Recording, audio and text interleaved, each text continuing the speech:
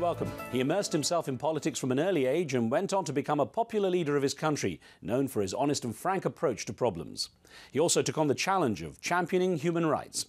This week on One on One, meet the former Norwegian Prime Minister and founder of the Oslo Center for Peace and Human Rights, Kjell Magne Bondevik.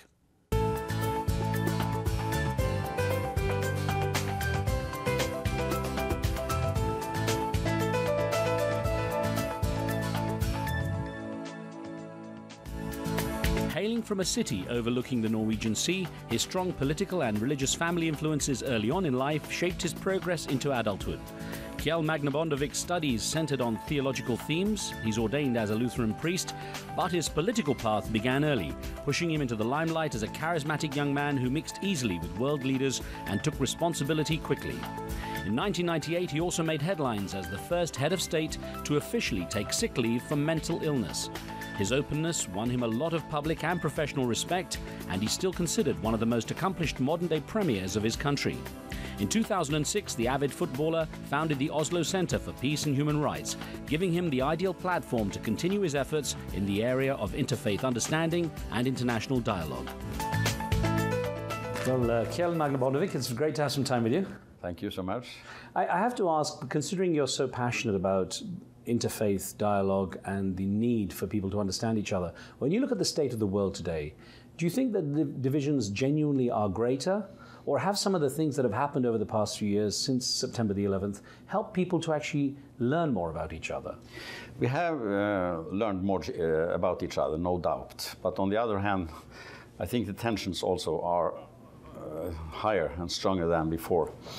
Um, primarily, the conflicts are not about religion, but some of the conflicts have a religious dimension because we know that in some regions, political leaders are misusing religion to steer up a conflict. So I think it's so important to avoid uh, conflict between the Muslim and the Western world to bring people together across these borders. Uh, at the Oslo Center for Peace and Human Rights, we have been engaged in such projects, uh, especially one with former President of Iran, Mohammad Khatami, who is a dialogue-oriented man, reformist. And we had uh, have different conferences and workshops about Islam and the West, and try to uh, analyze what do we have in common. What's getting in the way of that dialogue? Is it politics, whether it be geopolitical uh, issues? Is it religious leaders? What's the main culprit for stopping that dialogue? In our dialogues, we have invited both academics, uh, political leaders, and religious leaders. I think we need all of them. There are many interreligious dialogues going on around the world, but we need to bring more politicians into them, the decision makers. They have to really acknowledge uh, the force of religion, sometimes, unfortunately, to, to the bad, but it can be uh, turned around and be used for reconciliation. And um, uh, I think that is a huge challenge in the world of, of today. Have you come across a lot of people when you go across and try to promote this dialogue have you come across a lot of people who really are just so closed off to the idea that you know you know you're not going to get anywhere? Or is there always a space to get in? It's always a space, in my view. Uh, and I, I, I, think many people are surprised of what, uh, how much we have in common. Uh, and that we should, uh, we should use that uh, to the benefit uh, of all people and to calm down the tensions. That is, uh, that is possible. A special project we had uh, regarding um, interreligious dialogue is about the holy sites. We know that holy places often are misused to stir up conflict. And in some conflicts, they are destroyed. We have seen in the countries on the Balkan, we know in, uh, in Jerusalem that the holy sites is really the core of the conflict. Uh, we can say it in the simple way that there will be no solution on the Israeli Palestinian conflict without a solution on Jerusalem. There will be no solution on Jerusalem without a solution on the holy sites. And so, therefore, uh, we need to, to develop a code for holy sites, which we are working on at the Oslo Center, uh, to, to manage how to, to solve this problem because there are so strong religious feelings connected to the holy sites. And it's so sad to see that these, these places sometimes are misused. Well, let's look back to how you got to this point and what has shaped your, your views. You were born in uh, Molde in, uh, on the Romsdal Peninsula Yeah. in, in Norway. What was life like then in those days? Simple life. I grew up in, uh, in a family very active in the Christian uh, church. Uh, and I got my Christian education. So I'm even an ordained Lutheran pastor myself. And that's rather unusual that the prime minister uh, was an ordained pastor. but when I had, I have the dialogues, for instance, with Muslim leaders, this, this is an advantage. Uh, for instance, when I met um, President Khatami, uh, who is also a uh, Muslim theologian. We both understood the religious language and the political language. We were in, this, in a way on the same radar, uh, and that was very uh, useful. I was engaged uh, in the uh, youth organization of the Christian Democratic Party. My family was very active in, in politics. So when I came to the capital of Norway, Oslo, started my uh, studies, I was more and more engaged in politics.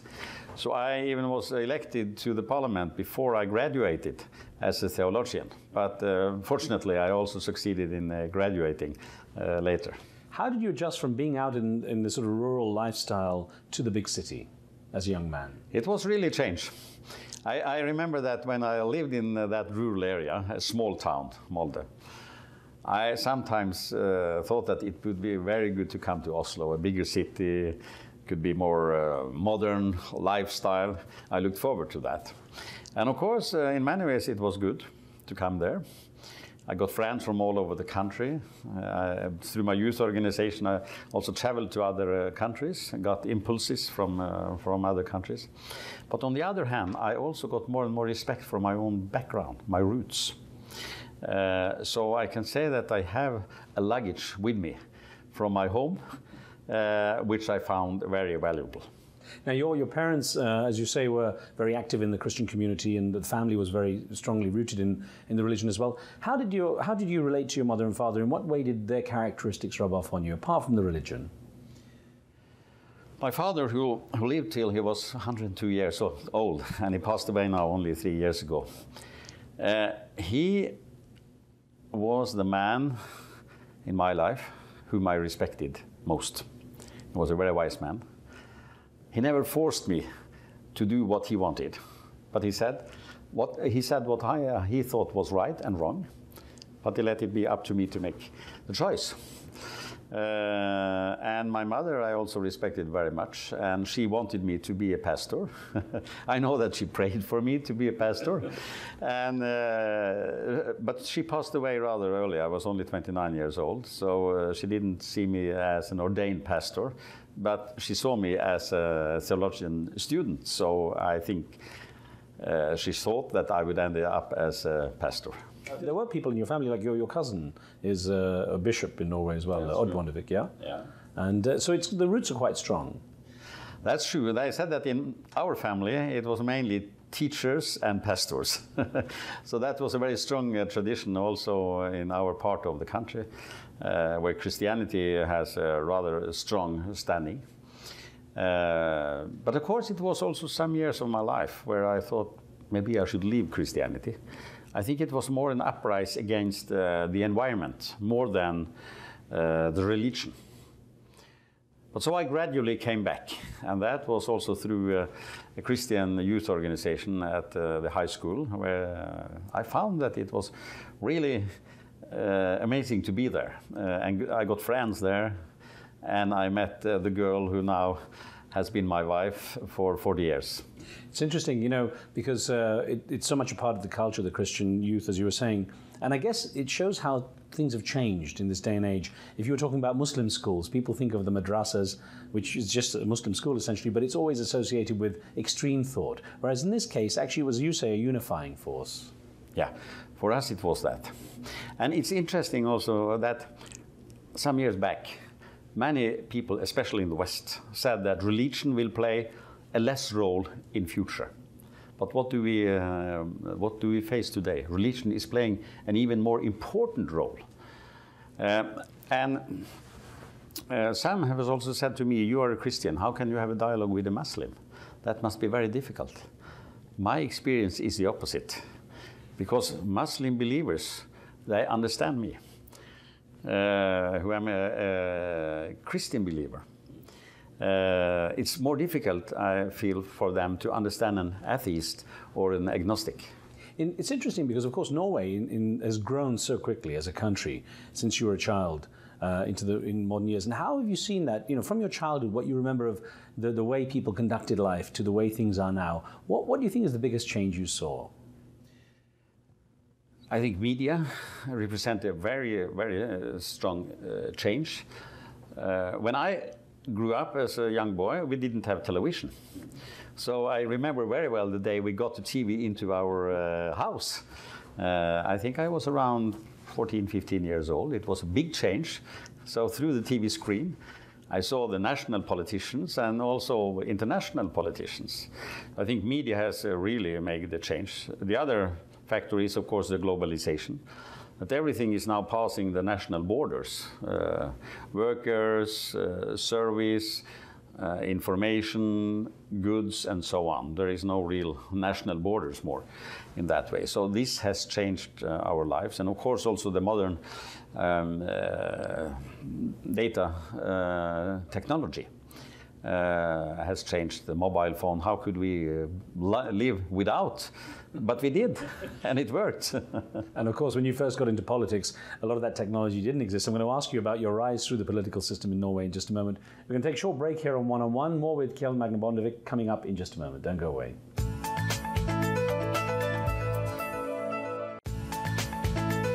Welcome back. You're watching One on One. We're speaking with the former Prime Minister of Norway and founder and president of the Oslo Center for Peace and Human Rights, Kjell Magne Bondevik it was a very early career for you in politics. I mean, really, you were a very young man when it started. And I wonder how you adjusted to the idea. Suddenly, you're making decisions that, that potentially affected a whole country. Of course, this came gradually because I was engaged in, uh, in the youth organization of my Christian Democratic Party already when I went at uh, uh the high school.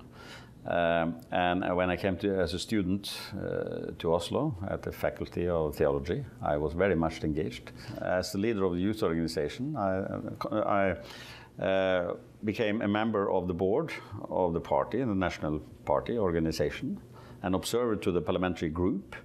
And so the party leader asked me to be uh, what he called the personal secretary for him uh, I wrote, wrote, speeches and uh, gave him memos and gave him some advices. And so he asked me when he became prime minister back in 72 to be his uh, state secretary, we call it in Norway, it's a deputy minister, at the prime minister's office. And then suddenly I was a full-time politician and I hadn't graduated my theology. Uh, and so uh, I was asked to, to be nominated to, uh, to the parliament. I was only 25 years old. Uh, because uh, one of our uh, members in the parliament from my constituency around Molde, he became ill and he had to, to leave politics. Uh, so it was an opening for me. And I uh, won the nomination competition. so from uh, that time, I was a full time politician. And so gradually, I, I got new positions as a deputy leader of the party, and so I was a leader of the party. and and so I ended up as prime minister. So, of course, I had some years to prepare myself.